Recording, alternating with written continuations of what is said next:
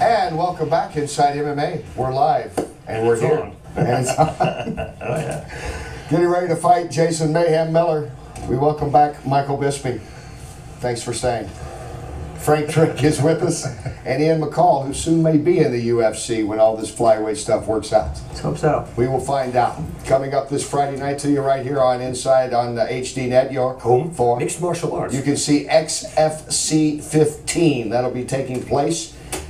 And it has a story in here of one of the most amazing fighters that you'll probably ever meet. Ron Kruck has the story of a man who has taken a while to make his debut to fight for XFC. Nick Newell has always overcome adversity. Born with a partially developed arm, he faced many challenges and silenced his critics who doubted he could become a successful wrestler. When I began wrestling, uh, no one really paid too much attention to me. You know, they just kind of wrote me off. Honestly, I don't know what it's like to have two hands, so it's just natural to me. Newell silenced his critics and went on to enjoy a successful collegiate wrestling career at Western New England College. Then some of those same critics said, she can't transition into MMA. Well, they were mistaken, as Newell has compiled a 5-0 record since turning pro. You know, everyone has their critics, and if if I just listened to the first person that told me I should have never done anything, I wouldn't even be able to tie my shoes. He doesn't use it as an excuse. You know, he just looks at it and says, you know, I can do what you can do. I just have to do it a little bit different. And when we train him, that's how we do it. It is a disadvantage.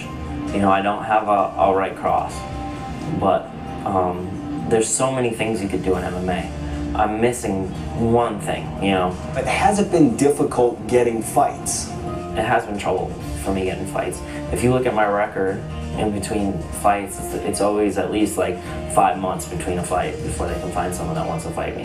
It's been extremely difficult in securing fights for Nick. A lot of people look at Nick as simply a one handed entity instead of a fighter. Hoping to get noticed on the national level, Newell decided to participate in the XFC's open tryouts in Connecticut, convincing his longtime friend Abby Mestry to join him. He was not only a great friend, but um, I also looked up to him. He was kind of like a big brother to me. And I was like, Abby, you know, I'm going to, I'm going to this, this tryouts, and uh, and you should come. And he said, okay, um, I'll go, but you have to drive, and you have to wait, and you have to take me to Taco Bell. So I took him to Taco Bell. Mestry impressed XFC officials and was awarded a three-fight contract, while Newell was the runner-up. you notice right away. You notice when someone has that special kind of talent. And uh, so he was one of the guys that we had kind of focused the cameras on. You know, at the end of the day, there's only one person that could, could win the tryout since he rose to the occasion and he looked great out there and I was proud of him.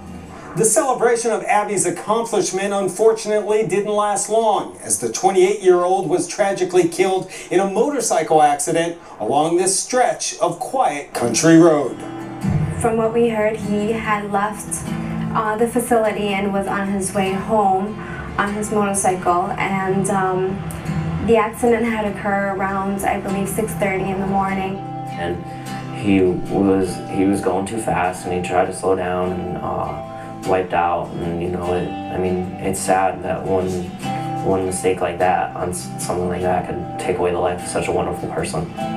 The tragic accident forced XFC President John Frisco to make a difficult decision about Abby's contract. I always wanted to sign Nick. Nick was best friends with uh, Abby. I said it just makes sense for Nick to take Abby's contract and to fight in his place. It means a lot to us that Nikki Newell is now uh, will be fighting in honor of my brother. So I think it's great that they are giving me an opportunity to fight and uh, they're making such a wonderful tribute to my friend. Having conquered his physical obstacles, the next challenge for Newell is to overcome a psychological one the difficulty of losing a friend. In the face of tragedy, you know, you turn to what you love, and I love MMA. I think about Abby every every day. Um, you know, every every time we train, a story comes up, and somehow he gets brought up. And you know, he. It sucks that he's gone. You know, he'll never never be forgotten, and he's he's with me all the time. And when I step into the cage, it will be no different.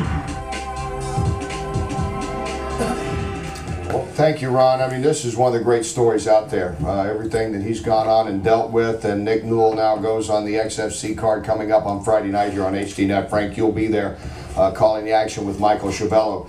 Uh, you know, that, that's the story right there. You got the inspirational setup as well as a solid fight card again.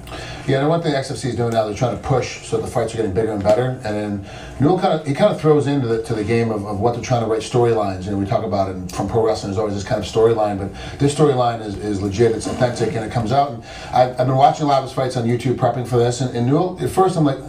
All right, it's another gimmick fight. Like, do I really want to pay attention to this gimmick fight? And you start watching him. He's actually got really, really good wrestling ability. A lot better than a lot of guys have that are actual wrestlers coming out of college.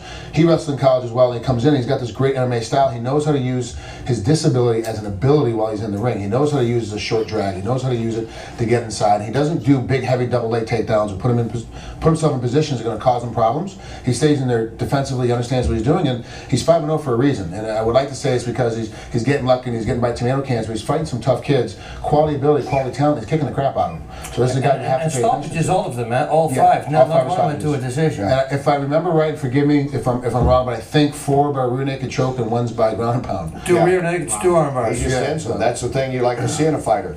Yeah. It's like Michael Bisping. He ends them. Yeah, that's In the McCall best, ends best thing you can do. Don't let the ref, don't let the judges have to figure it out. That's it. Here's the rest of that card that you can see live here Friday night at 9 Eastern on HDNet. You're home for. MMA. It's a solid card. I like the fact that they get these guys, some of these guys that we saw there with Nick and all come through tryouts. So, I mean, there's not a whole lot of places to find young fighters these days. You know, not really. And with XFC too, they're doing a big deal. They got the women, the women's fight is the co-main event. And in my mind, if I can remember correctly, it's the first time that women have been the co-main event. And Carla Esparza is a two-time All-American college collegiate wrestler, and then Herrig is a, a great kickboxer with a little bit of wrestling ability. That fight is worthy of a co-main event, and now we get to see it, and I get to call it. Everyone knows my feelings on, on women's MMA and, and how, how it kind of falls into this fold. And for me, I'm excited because you know now with social networking. Felice is a friend of mine, but we've never met because we follow each other on Twitter. We talk all the time via via the, the social networking space. But it's gonna be neat to actually first time I get to see her live and watch her call this fight. But she's fighting a quality opponent, and, and this is not a gimme for either either one of the main event or co-main event. Yeah, this is gonna be That's a your training fight. partner? Carla's my training partner. Yeah, she is. I I like to. I really do beat the crap out of her every day, and she's very tough. I mean, she is. interviewed me once. He's a woman beater. She's a woman. Yes, I, I beat women. Tries back up and he's a woman she's, beater. a, she's, she's a quality. I like this guy. she's a quality quality. He's awesome. You sure you're not English? Yes, uh, Not with that hair. But that's the thing about women's MMA now is that it's starting to expand, starting to get better, and the women are training with guys because there's not enough female training partners. They train like like men. They do they train with in, in men aspects. They do everything that we do, but then they go out there have to fight other women. So it's, it's interesting to see how they have advanced. I think faster Yeah. than the men have because they have to survive just through practice. and they, they, they, they learn faster. They're not. Men are too. You're saying Uh, women are smarter than men. Well, no, we're egotistical. They're not Yeah. smarter. What is egotistical? yeah, their brains are smaller, but they, they learn easy. See if you like it less. Yeah. And Nick Newell, we, we met him. We met him at IFL, remember? Yes, He's met great. Nick, and you know He's he's, a- he's, he's, he's always been like Frank said. He's a great guy. You know that's one of the things. Sometimes people will see and they go, "I wonder if this is a gimmick," because we have seen gimmicks, Yeah. and we've we've brought out some of those Oh, in some of these smaller legs, I mean, yeah, you, you- know you can- sometimes it has, but this is a real deal here. What I really like with the. Nick Newell, that is that his first wrestling class, he, he, he came out and he didn't want to do it anymore. And his mother, I think he owes that to his mother. She said, no, you are going to go back and you are going to train again. And, and, and that's what he did. He went back. And uh, look at this kid, man. I'm really excited. And if they don't think women smarter, why do we always follow them around? Why does everybody say hello to mom, right? Yeah, I know. That's right. That's Mama's right. boy. London will be leading you around. You'll think, yeah, boy, my toughest fight ain't nothing. They take care of London as she grows up. All right, here's what's coming up live on HD Net York. Home For mixed martial arts. Okay, there it we is. talked about XFC. We got BAMMA 8 coming up. Mark Ward was supposed to be returning